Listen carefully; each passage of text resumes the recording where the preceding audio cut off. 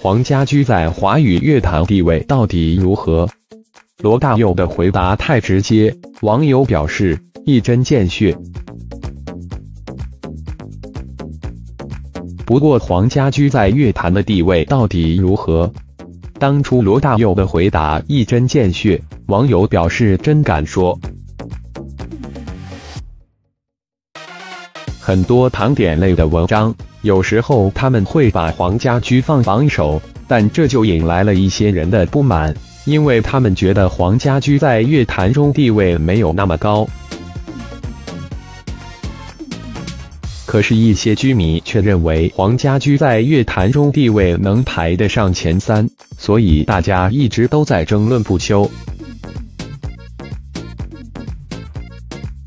那小编带大家回顾一下当时的香港乐坛环境，最熟悉的应该是谭张争霸的时候，然后出现了四大天王。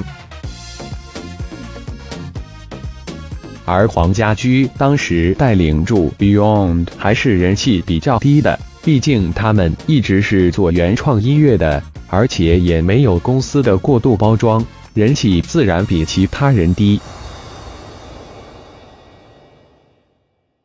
但相比于其他人来说，黄家驹也有他的优点，没有忘记自己做音乐的初心，还有他是音乐才子。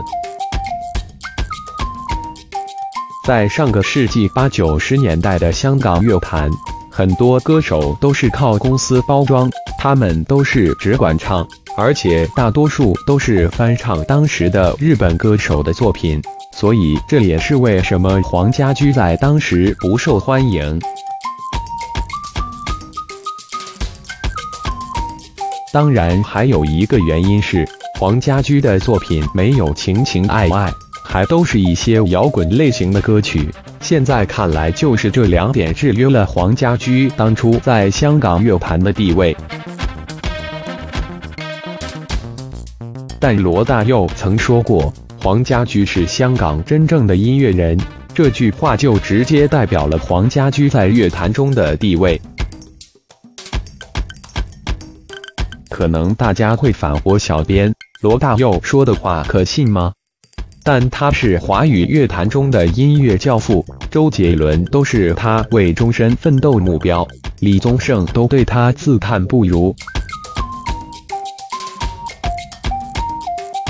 而网友当时都一样的反应，对于罗大佑这么直接，都表示真敢说啊，不怕得罪人其他人吗？